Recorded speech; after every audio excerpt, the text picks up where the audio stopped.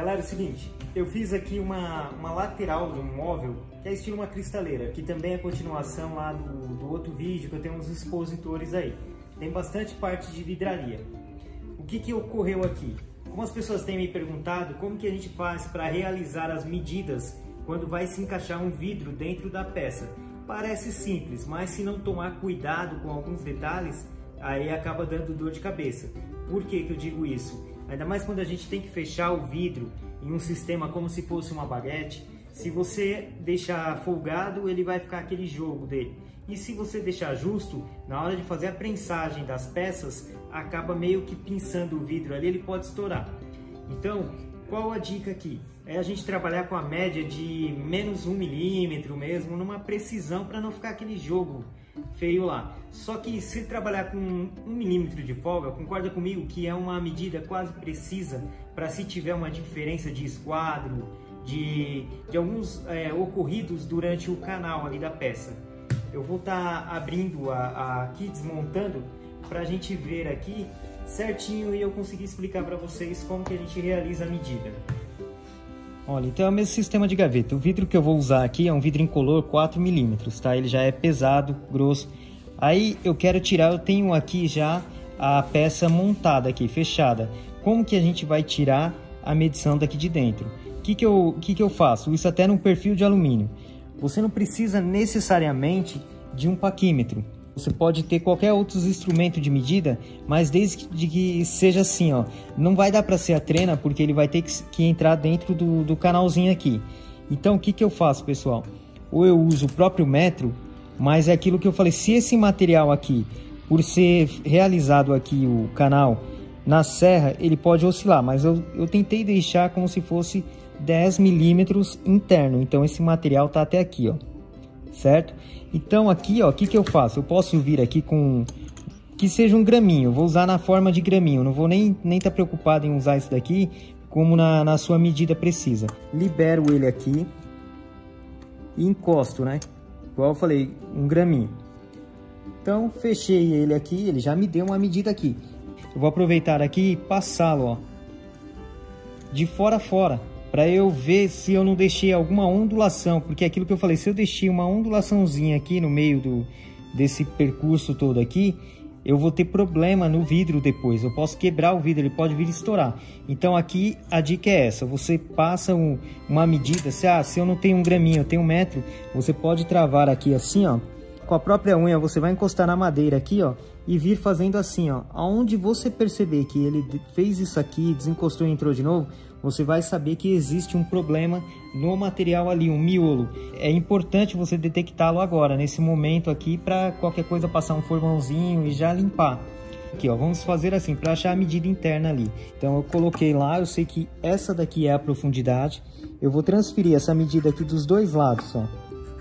O material é preto, fica meio difícil de ver, mas a gente consegue aproximando aqui, eu consigo ver. Jogo lá do outro lado, faço a mesma coisa, transfiro então eu vou pegar das duas extremidades ali, eu já tenho quanto que eu tenho de introdução do vidro aqui dentro de cada peça. Entendeu? Aí eu faço assim. Aí eu vou realizar o corte do vidro, essa montagem aqui, como se fosse a nossa porta de perfil alumínio, que eu faço assim também. Que aí é bom medir até com metro, não dá para medir com trena. Uma coisa importante aqui que eu esqueci de mencionar é que quando se trata de uma porta extensa, é bom se tirar pelo menos uns quatro pontos de medidas. Para quê? Para sempre conferir se não fechou, se não abriu, se existe algum empenho aqui na peça, entendeu? Então isso também é importante. Então vamos lá, eu vou jogar aqui.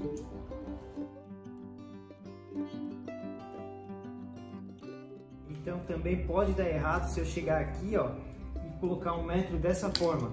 Ele não pode baloar, entendeu? Então normal. Então o que, que eu faço também? Ah, não vou conseguir ver aqui e ver lá ao mesmo tempo. Você vem aqui, ó, tira um ponto de referência, gente. Coloquei ele na base reta aqui, ó. jogo ele lá do jeito que eu preciso e venho aqui e já marco mil. Desses mil, eu vou virar o metro, jogo no outro ponto que eu quero, até aqui, já deu 325. Então vou dar 1325. Aí eu já vou cortando, não, eu vou ver a outra extremidade aqui se está igual. Então assim, sempre tem que dar esse tipo de conferida para tentar cortar o vidro menos possível que for. Pessoal, aqui é igual gaveta, ó. A gente tem montado aqui, ó, do jeito que essas peças já estão encabeçadas aqui, eu já tenho aqui também a medida daqui, ó, onde está o vidro. Eu deixei esse canal aqui somente na, no MDF aqui na parte de baixo, porque aqui são dois, né? Que eu vou passar um fio de 1,5 aqui, ó. Esse cabo vai ser o que vai ter a iluminação, então eu não precisei de canaleta nem nada. Eu já fiz uma já fiz uma calhazinha aqui dentro aqui, aí eu vou passar. Entendeu? Aí eu já fiz um furo também na peça. Depois o fio já passa e já sai naquele furo, eu pego ele por baixo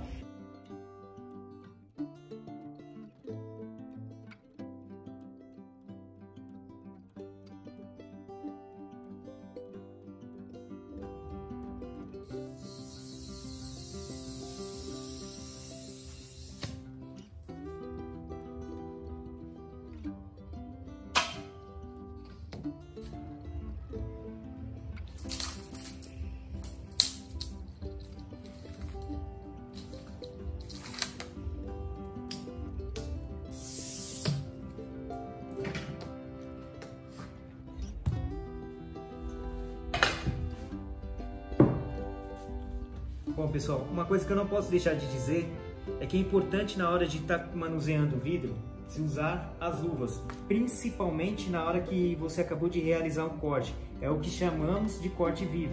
Esse corte vai estar igual a um estilete.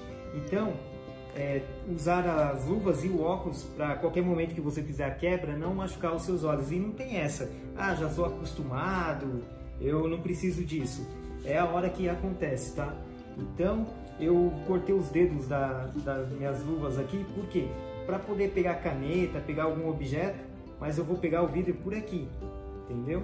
Então, para mim, já não, não oferece nenhum risco. Então, sempre que a gente estiver fazendo uso de um equipamento, de uma peça perigosa aí, é se dobrar a atenção, tá? Eu vou estar montando aqui para ver se deu certo aqui o corte mostrar para vocês como que vai ficar. Isso, lembrando, isso aqui é só uma lateral de um armário, mas é como se fosse uma porta. E a mesma coisa se fosse uma porta também de perfil de alumínio.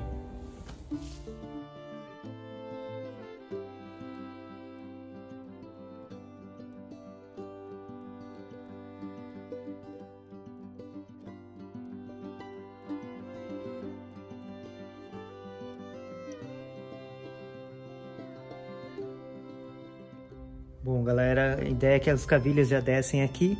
Eu tenho esse furo aqui que vai passar né, naquela canaleta que eu deixei. Já vai descer aqui, vai mandar o fio para dentro do móvel. E eu vou ter os 30 aqui, ó. Então esse daqui vai estar tá preso aqui na cavilha. Esse não vai estar parafusado. Se precisasse trocar um vidro desse, vai soltar por baixo. Vai ter um parafuso aqui e vai travar isso daqui, ó. Tudo parafusado por baixo. Então soltou aqui, tirou esse emolduramento aí, troca o vidro. Então vamos ver se ele encaixa aí agora. Aqui.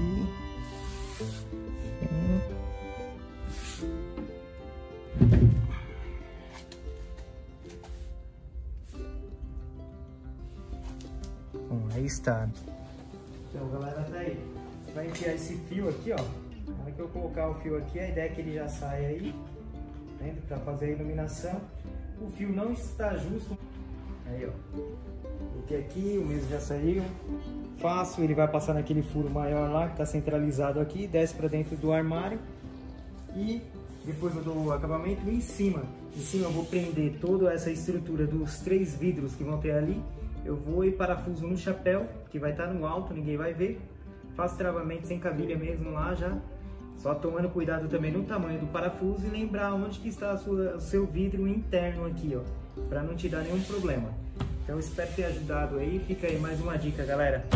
Galera, obrigado aí pela força.